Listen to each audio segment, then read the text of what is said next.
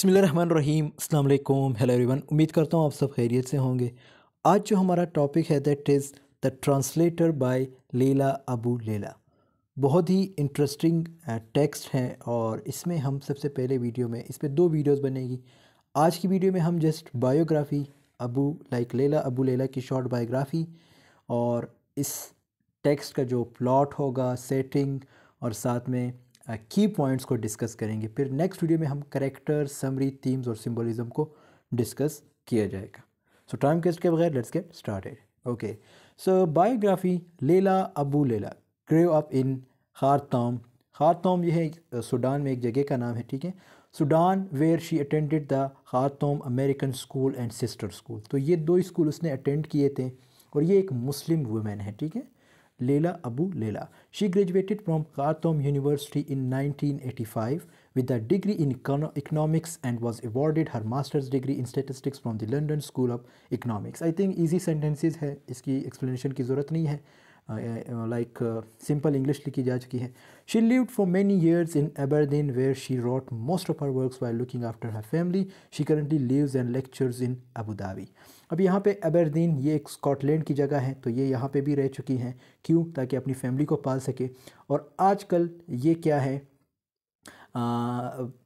Abu Dhabi में जो है लेक्चरर्स या लेक्चर्स वगैरह अटेंड करती हैं या देती हैं। She was awarded the Kane Prize for African Writing in 2000 for her short story The Museum and her novel The Translator.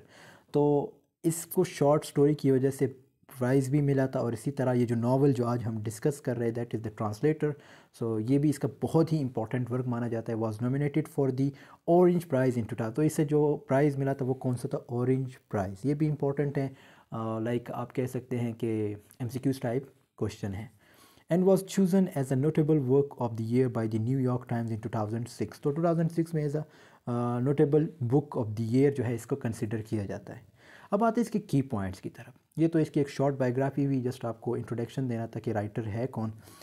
So so, इसके की पॉइंट्स प्रोटोगनिस्ट बैकग्राउंड सबसे पहला जो हमारे पास इसमें जो प्रोटोगनिस्ट है वो है Sammar Sammar the protagonist is a Sudanese widow तो ये एक विडो वुमेन है, ठीक है? Who moves to Scotland to work as a translator for a university तो ये कहाँ मूव करती है? स्कॉटलैंड की तरफ़। क्यों? ताकि एज अ ट्रांसलेटर की तरह काम कर सकें। Cultural clash the normal explore the cultural clash Sammar experiences as she navigates life in a foreign country highlighting the difference between her Islamic background in the western society around her suppose आप Asian हैं Muslim हैं, या हिंदू हैं, जो भी है आप। तो जब आप यहाँ से मूव करते हैं किसी और मुल्क तो आपके कल्चर में और उनके कल्चर में ज़मीन और आसमान का फ़र्क होता है। इसी तरह ये एक अफ्रीकन वुमेन थी तो इनके कल्चर में और वो दूसरा जो वेस्टर्न कल्चर है, उसमें भी ज़मीन और आसमान का फ़र्क है। तो ये इसके लिए एक बड़ा चैलेंजिंग टास्क था, यानी एक चैलेंजिंग वर्क था इसके लिए कि अपने आप को एडजस्ट करना उन सोसाइटीज़ में और फिर ये एक मुस्लिम वुमेन थी। Relationship with Rae Isles Sammar develops ये एक नया करेक्टर है ठीक है? Rae Isles Sammar develops a complex relationship with Rae Isles a Scottish academic ठीक है? तो ये एक स्कॉटिश uh, एकेडमिक थे uh, ये जो नाम क्या है? राय एजल्स ठीक है? Their connection involve sorry evolves amidst cultural disparities and personal challenges so obviously ये एक अंग्रेज़ और ऊपर से ये मुस्लिम वुमेन तो इनके कल्चर में लाइक आई से ज़मीन और आसमान का फ़र्क होता है। Religious themes, the novel delves into the themes of faith and spirituality as Summer grapples with her Islamic beliefs and finds solace in her religious practices. तो जैसे मैंने बताया ना ये जो करेक्टर है हमारे पास समर ये एक इस्लामिक टाइप वुमेन है ठीक है तो इसे सुकून भी मिलता है अपने लाइक जो रिलीजियस प्रैक्टिस या जो रिलीजियस वर्क्स होते हैं रिलीजन को फॉलो करना ये उस चीज़ में सुकून पाती है grieve and loss Sammar is haunted by the loss of her husband Tariq अच्छा जैसे मैंने बताया ना कि ये एक विडो थी तो ऑब्वियसली इसके जो पहले हस्बैंड थे, उसका नाम क्या था? तारिक जिसकी डेथ हो चुकी है. And the novel delves into her grieving process and how it shapes her worldview तो ये एक विडो वुमेन के लिए चैलेंजिंग होता है कि अपनी लाइफ स्पेंड करना और अपने बच्चों का ख्याल रखना. अब आगे जाके इसके जो बच्चे होंगे, उनके भी नाम डिस्कस होंगे, लेकिन वो करेक्टर्स में डिस्कस होंगे. फ़िलहाल हम की पॉइंट डिस्कस कर रहे हैं. Multicultural exploration. Through Summers' experiences, the novel explores multiculturalism and the impact of globalization on individual society. क्यों? देखो आ, मैंने बताया ना कि अगेन वही बात आ जाती है कि जब आप कल्चरल को एक्सपीरियंस करते हैं it means like suppose you are in America और इन अनदर कंट्री तो क्या होगा है? वहाँ पे क्या होगा? आप उनके कल्चर को एक्सपीरियंस करते हैं। आपको पता चल जाता है कि यार मेरे और उनके कल्चर में कितना फ़र्क है। और मुझे कौन सा कल्चर जो है फॉलो करना है। ओबियसली आप अपने कल्चर को तो फॉलो करें, लेकिन बहुत से लोग चेंज हो जाते हैं और आपने देखा होगा इवन उनके एक्सेंट उनके बहुत सी चीज़ों में चेंजेस आ जाती है ड्रेसिंग सब कुछ। तो अब ये एक चैलेंज होता है एक बंदे के लिए कि वो अपने आप को वाकई उधर मेंटेन करता है यानी यानी उनके कल्चर में अपने आप को पूरा जो है लाइक धकेलता तो नहीं है ड्रैग तो नहीं करता अपने आप को। लैंग्वेज इन ट्रांसलेशन तो पॉइंट है हमारे पास। The significance of language and translation serve is a prominent theme अब ये एक थीम है। खैर थीम तो हम नेक्स्ट लाइन में भी डिस्कस करेंगे। लाइक नेक्स्ट वीडियो में तो ये इसको जो है यहाँ पे ही रहने देते हैं। लेकिन फिर भी आप, अगर आप लोगों ने ये वीडियो देखने तो ये थीम है आप लोगों की। Personal transformation Sammar undergoes personal growth and transformation as she confronts her past navigates her present circumstances and envisions a future shape by her evolving identity देखो, मैंने बताया ना कि एक विडो थी और इसके जो पहले हस्बैंड थे, उसका नाम क्या था? तारिक था। तो फिर भी वो जो बंदा है, तारिक, वो इसके मेमोरीज़ में होता है। ठीक है? तो अपने पास्ट को जो है, किसी ना, किसी ये तरह ये कन्फ्रंट करती है। कन्फ्रंट जो वर्ड है, इसका मतलब है आमना सामना करना। ठीक है? यानी रू बरू होना दो चार होना। ठीक है? तो उर्दू में इसको ये कहते हैं। ओके सो ये थे इसके की पॉइंट्स यहाँ पे इसके की पॉइंट्स की एंडिंग होती है। आई होप आपको कुछ ना कुछ तो समझ आ गया होगा। अब आते हैं प्लॉट की तरफ़। तो प्लॉट क्या है? After losing her husband Sammar a young Sudanese widow living in Aberdeen city in north east Scotland and is the third most popular Scottish city देखो, ये यहाँ पे मैंने एक लाइन जो दो लाइंस लिखे हैं, ये रेड में लिखे हैं। इसका क्या मतलब है? ये जो अबरदीन है, मैंने बताया ना कि ये स्कॉटलैंड की एक जगह का नाम है। तो यहाँ पे मैंने सिर्फ़ आप लोगों को समझाने के लिए, ताकि आपको समझ आ सके, आप भूल ना जाए, इसीलिए मैंने इसको रेड लिखा है। तो ये जो है इसकी सेटिंग रखी गई सॉरी प्लॉट जो है इसमें क्या है कि इसके जो हस्बैंड है वो, उसकी डेथ होती है किसके? समर के। और ये एक young Sudanese widow living in Aberdeen ठीक है? अबरदीन स्कॉटलैंड की एक जगह है, वहाँ रहती है।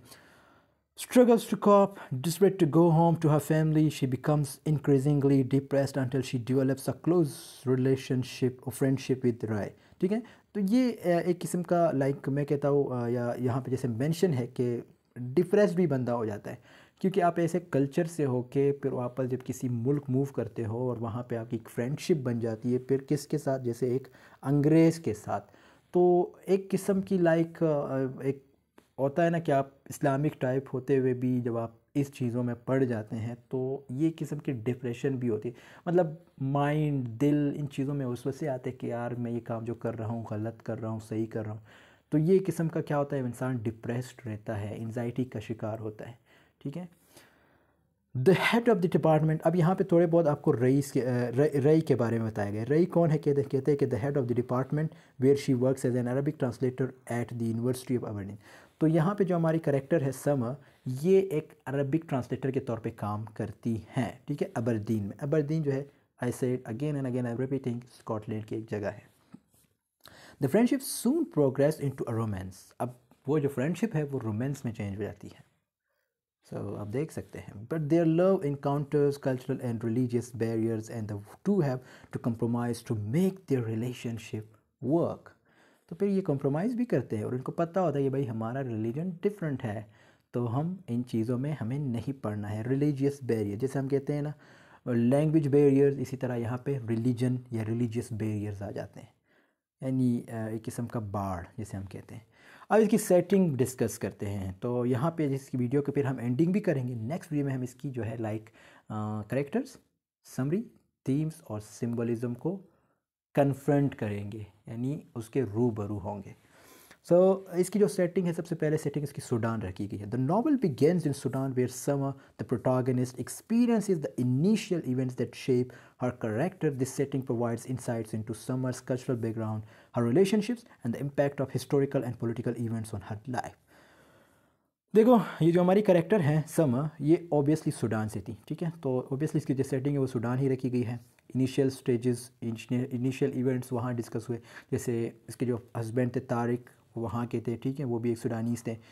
तो वहाँ पे इसके बच्चों की परवरिश, वहाँ पे बच्चे भी होते हैं। फिर इस तरह कल्चरल बैकग्राउंड वगैरह डिस्कस होता है हर रिलेशनशिप किसके साथ ओबियसली तारिक के साथ and the impact of historical and political events on her life तो अपने लाइफ में जो पोलिटिकल और हिस्टोरिकल इवेंट्स हैं, उनका इम्पैक्ट इसके लाइफ पे पढ़ना ज़िंदगी पे पढ़ना वो सारी चीज़ें इस यानी सूडान में डिस्कस हुई, सूडान जो सेटिंग रखी गई। Scotland. The majority of the novel is set in Scotland लेकिन वहाँ पे एक शॉर्ट इंट्रोडक्शन शॉर्ट सेटिंग रखी गई है, कहाँ पे? सूडान में। और जो ज़्यादातर नावल की जो सेटिंग रखी गई है, वो कहाँ है? Scotland where Sammar moves to work as a translator at our university जहाँ हमारी जो करेक्टर है प्रोटागनिस्ट है सम वो मूव करती है, किस लिए? एक यूनिवर्सिटी एज अ ट्रांसलेटर के तौर पे, यानी जॉब करने के लिए। तो Scottish setting introduce culture differences लेकिन स्कॉटलैंड एक अंग्रेज़ मुल्क और ये अफ्रीकन वुमेन कल्चर में ज़मीन और आसमान का फ़र्क। The challenges of adapting to a new environment and the exploration of a cross cultural relationship with Rai ageless तो अगेन वही बात रिपीट हो रही है कि भाई हमारे जो करेक्टर है राय एजलेस ये क्या है? इसका कल्चर इसका मज़हब डिफरेंट और हमारे जो मेन करेक्टर समा उसका कल्चर उसका मज़हब डिफरेंट तो ये क्रॉस कल्चर रिलेशनशिप के लाया जाता है। ये वर्ड आप लोगों ने अपने माइंड में रखना है। आप जब लिखेंगे तो टीचर थोड़े बहुत इम्प्रेस होंगे कि बेटा कुछ सीख के आया है। सो so, दोस्तों हम आप यहाँ पे हमारी वीडियो की एंडिंग होती है। आई होप आपको ये वीडियो पसंद आएगी पसंद आई है तो ज़रूर लाइक कमेंट शेयर कीजिएगा। आपके एक लाइक एक कमेंट से मुझे मोटिवेशन मिलती है कि वाकई मेरी वीडियो को लाइक किया जा रहा है। सो so, कोई भी सजेशन देना चाहते हैं वो भी कमेंट सेक्शन में दे सकते हैं। बाकी दोस्तों के साथ ज़रूर शेयर कीजिएगा। और मिलते हैं आपसे नेक्स्ट वीडियो में एक नई वीडियो जिसमें हम character summary themes symbolism discuss करेंगे। तब तक के लिए अल्लाह हाफ़ take care of your self